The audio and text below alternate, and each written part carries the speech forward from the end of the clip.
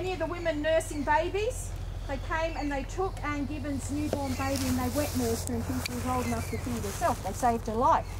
What's beautiful about it is that little baby, that little girl, gained four mothers, even though she lost her real mother. Each woman uh, who had helped save her considered her to be part of their family.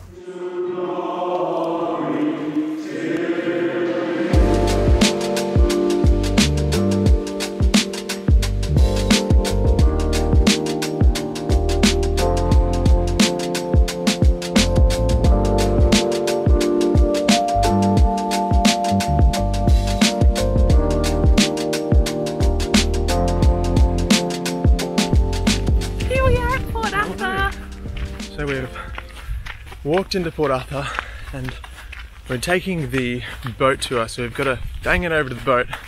Everyone's walking over there now, so we're not the last ones on the boat. For the So- Isle of the Dead cruise, which we've done before, tour mm, Four years ago on a honeymoon again. the island where they bury, buried the dead convicts. Yeah. Some of their stories. Laura's balancing soup. her soup. Trying not to They're doing really well. So, Port Arthur is a historical site where they had convicts back in the, I'm guessing 1800s, I think it was, when they first came to Australia, um, 1700s possibly. They had convicts, convicts here, and this is probably one of the oldest um, jails sites in Australia. And it's great to come back here and see, yeah, what we saw last time, and reminisce Yeah. and see the sites. We've got three hours. Our friend's going to go out and see their sights they want to see. Um, so I hope they enjoy that. Might get some photos off them. And we're going to go on the boat now across to the Isle of the Dead. The crazy thing about this place is it's actually stunning scenery wise. Um, with the water and the mountains and everything. So you think, oh man, this is actually a place of of death and Yeah. prison, but it's in a beautiful place.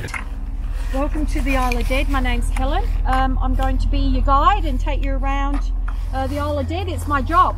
Good job, isn't it?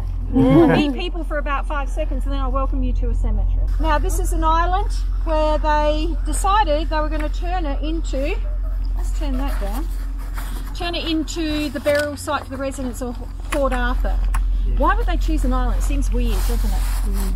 So they're going to use what they knew to inform them of what was going to happen here. And we could see that quite clearly. They come here and recreate a little piece of England. So when um, you've got Commandant Booth asking Reverend John Allen Manton to find a suitable burial ground, what does he know about burial, death and burial? Well, if he's coming from a busy city like London, what he knows is body snatchers and grave diggers. Perhaps that idea of safe and secure, because really, what else is he keeping it safe and secure?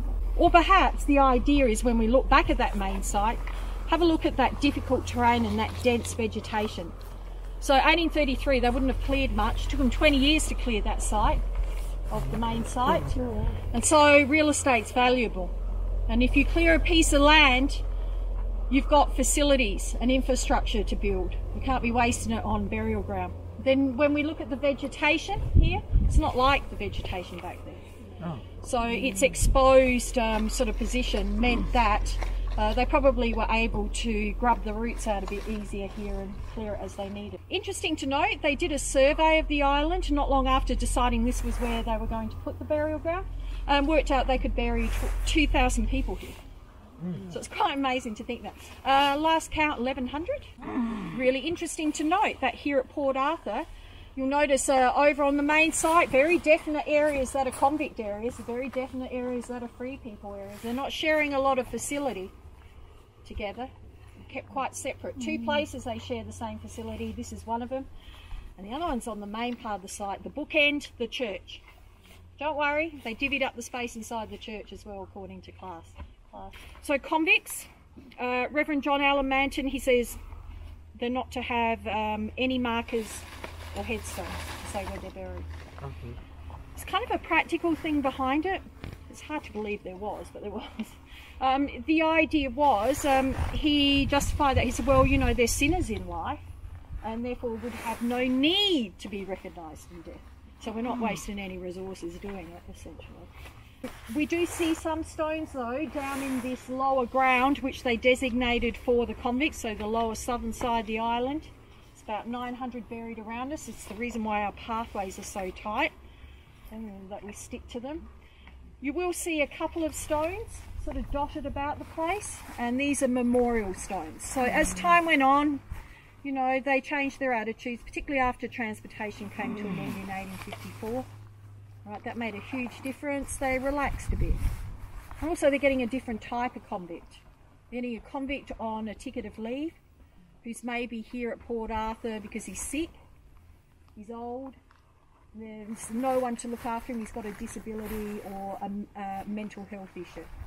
Okay, so convicts serving time, losing their lives buried here, suddenly start getting joined by a population of lunatics, uh, the sick and the infirmed and the old. It really affected what type of uh, experience you had, uh, whether you were a convict or not a convict. Okay, so to give you a bit of an indication,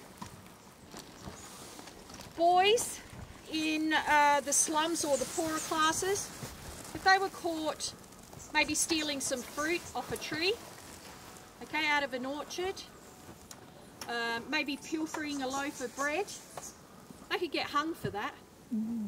Okay, seen as the worst kind of crime. Uh, as you can imagine, towards the end, ageing population of convicts, there's an increase in deaths. So what they did was thought, hey, to make it more efficient, we'll put a gravedigger out here full time and that should speed up the process and make it more efficient. That was the idea. So can you see the little hut to the side? That's the gravedigger's hut. Two gravediggers, John Barron, this man, Mark Jeffrey, we'll talk about him in a minute. It was a novelty to have a gravedigger out here. There was no precedence for it. They said, well, we need a gravedigger. He went, I'll do it. Takes a chance, puts his hand up and says, I'll be your first gravedigger. Right, okay, volunteer, put him out here. Uh, and that risk he took of coming out here, not knowing what to expect, pays off for him. He's out here for over 10 years, got his leave, left Port Arthur, got away unscathed, undamaged. Hmm. Okay, so he manages to get away, and it works for him. But being the grave digger on the island was the most wonderful. Really? That's the most wonderful? I don't think so. What's happening to the men back at that main site if this is the most hmm. wonderful? You see, that's what happened. He saw them over there, comes over and sees John, and he can see that certain things are working for John out here that are not working for them back over there. Someone actually suggested one time he could grow cabbages to supplement his diet in that garden, and he recoiled at horror at that suggestion. Said, I couldn't eat anything that had been grown out of such a soil. Just couldn't believe anyone had mm. suggested it to him. So maybe it didn't sit that well, but he made it work. Okay, he was smart enough to make it work, and he, he was one of the few that got away from here undamaged, uh, which is pretty amazing. We never heard of him ever again. Fantastic thing. If they got away from Port Arthur, you never hear of them again because that meant that they probably went on and had a decent life. Our other convict, grave digger, there he is, Mark Jeffrey. Oh my goodness. He was built like a Mack truck, had a violent temper, uh, and he went off like a firecracker. He's here towards the end because he comes after John. So it's getting towards the end of the settlement. They didn't want to deal with that. okay, there's just with too much trouble. You know, he's just he's a risk to the other convicts. He's keep it's just causing too much trouble. So they said, all right, you're going out there. You're going to be the next gravedigger. They're moving him off to keep him away, keep everyone safe. And they brought him out here, and he too looked like he was doing all right, except about four months in.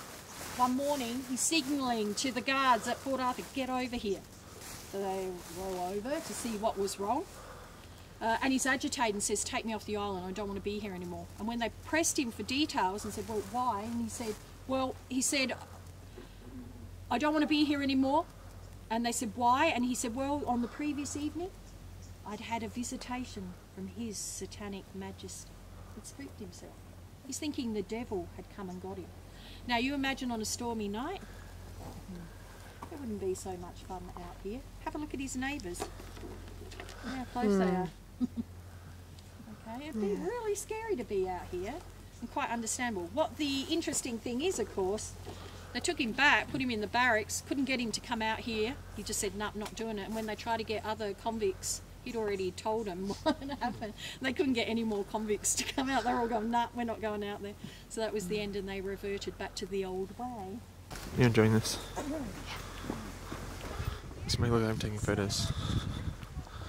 Any of the women nursing babies, they came and they took Anne Gibbons' newborn baby and they wet nursed her until she was old enough to feed herself. They saved her life. What's beautiful about it is that little baby, that little girl, gained four mothers, even though she lost her real mother. Each woman uh, who had helped save her considered her to be part of their family, is pretty amazing, isn't it?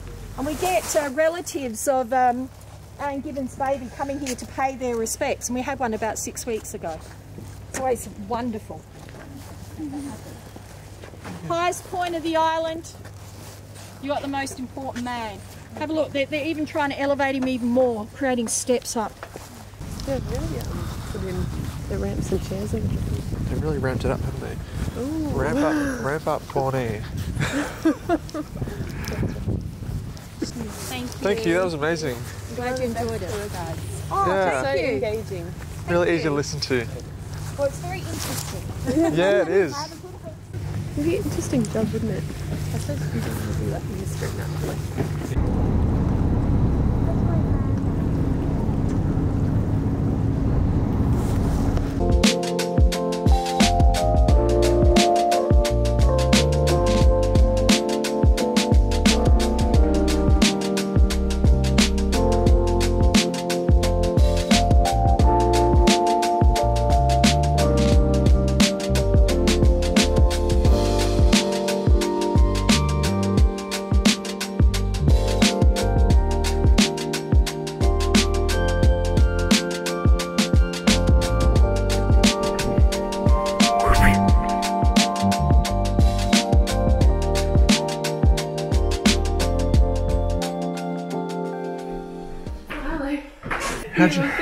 How'd you go? it's So good. It's so interesting. Um, yeah, I tried to put myself in their shoes. Take us into your favourite room. So this is where the commandant did his letters and writing. And sat and looked at the fire and probably contemplated over the problems between officials and. Imagine living up there.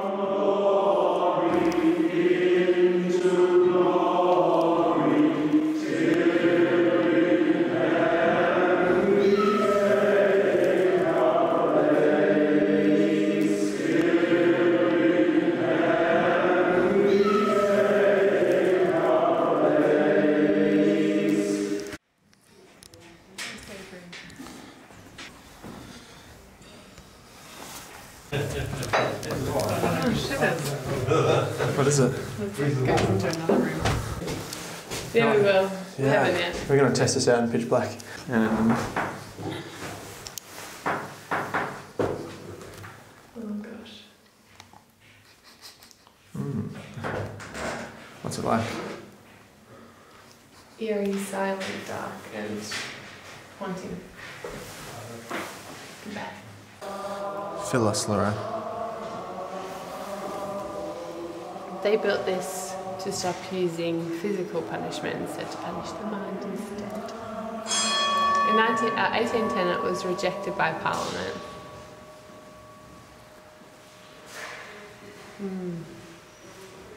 They weren't even allowed to have their names used, they were numbers.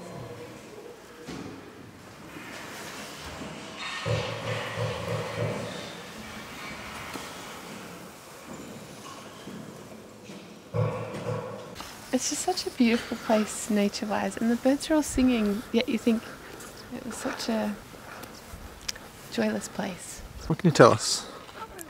We just went into the chapel and Um, we're actually two convicts that have just gotten together. Um, we'd meet at the outside the church grounds because God created love, and we got to know each other. And now that we're free, we're getting married. That's really something. Where are we, Lois? the government cottage, which was built in 1853, and it appears to have never had a permanent resident, just several officers who lived in it for a short time. The cottage was sold after the closure of the settlement and was burnt down in 1895. Fires! Oh. How dare you?